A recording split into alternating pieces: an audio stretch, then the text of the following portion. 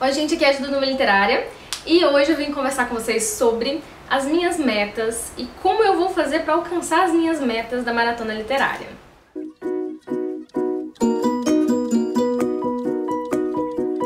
Bom, eu resolvi gravar esse vídeo pra vocês só pra mostrar pra vocês mais ou menos como que eu vou me organizar, dar algumas ideias e ver como é que vocês estão fazendo também, porque eu estou me planejando pra fazer dessa forma.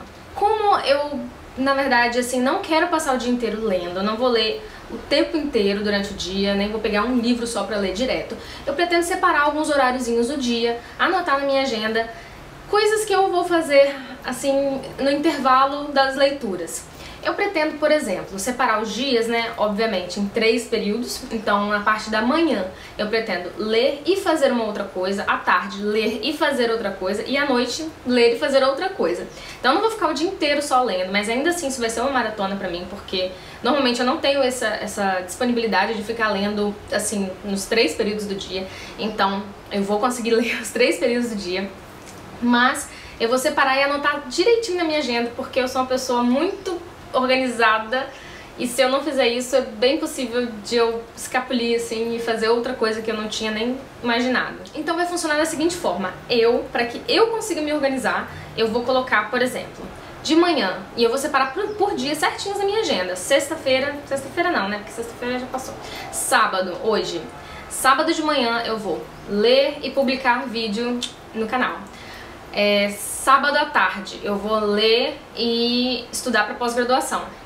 Sábado à noite eu vou uh, assistir um filme e ler antes de dormir.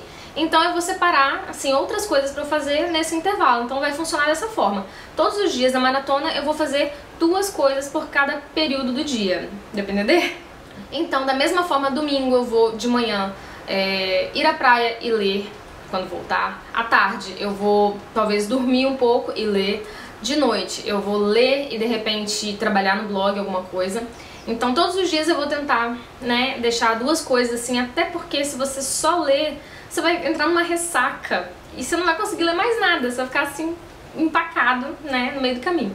Então eu indico para vocês também que vocês tenham alguma organização na hora de separar os livros, separar livros que vocês realmente querem ler, não só porque aquele livro tá né, assim, já na sua estante há muito tempo, mas pega um livro que você quer mesmo ler, porque a sua leitura vai fluir, né, pega um livro que você tá com muita vontade de ler naquele momento, que aí, aí sim, né, você vai conseguir ler bastante. Então, eu quero saber de vocês como que vocês estão se organizando, porque a nossa maratona já começou hoje e eu quero saber o que, que vocês estão fazendo aí pra conseguir ler, se vocês estão lendo o dia inteiro ou se vocês vão separar momentos do dia pra ler, se vocês vão também sair, vão fazer outras coisas ao invés de ficar só lendo.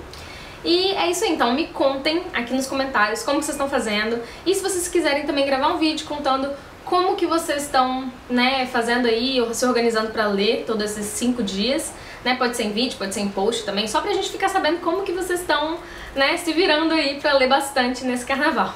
Então é isso, gente. Espero que vocês tenham gostado desse vídeo bem curtinho. E quem não é inscrito ainda no canal, se você tá chegando aqui agora, assista o vídeo anterior, onde eu falei sobre a maratona. Eu vou deixar o link pra ele aqui no ladinho.